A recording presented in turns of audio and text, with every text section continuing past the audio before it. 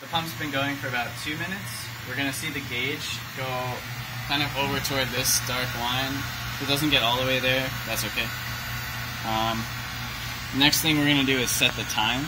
So if we look at this chart, this is our material in the dark line. Um, we're going to set a current for 18 milliamps, and that will give us a deposition rate of 5 nanometers per minute.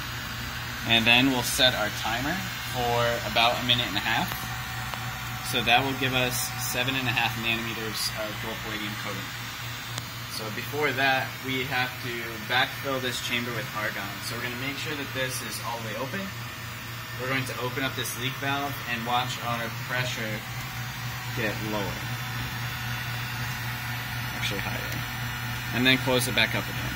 So what this is doing is if there is any oxygen in this line ahead of time, letting the argon flow through it into the chamber and then closing that so that it will pump all of that stuff out and that there'll be pure argon left in this line. So when we actually do the sputter coating, we'll let that argon in one more time and then apply the current.